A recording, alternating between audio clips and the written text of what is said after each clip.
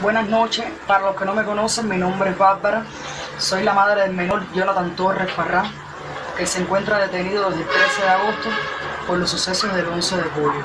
Mi hijo es un niño muy enfermizo, tiene hipertrofia en el ventrículo izquierdo del corazón, producto de su hipertensión arterial.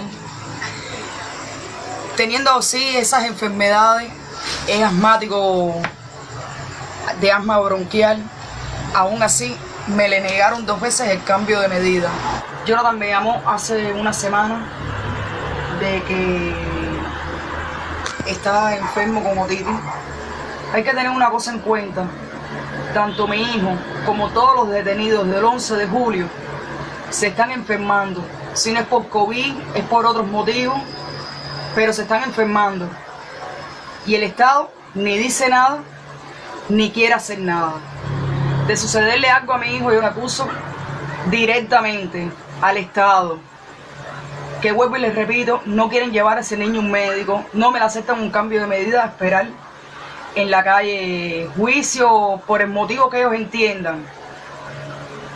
Y ese niño lleva una semana enfermo y sin medicamento, tanto el enalaprín como ahora por la audita. Por favor, yo lo único que les pido es que compartan mi video y las madres que estén en la situación como estoy yo, que no se lo callen,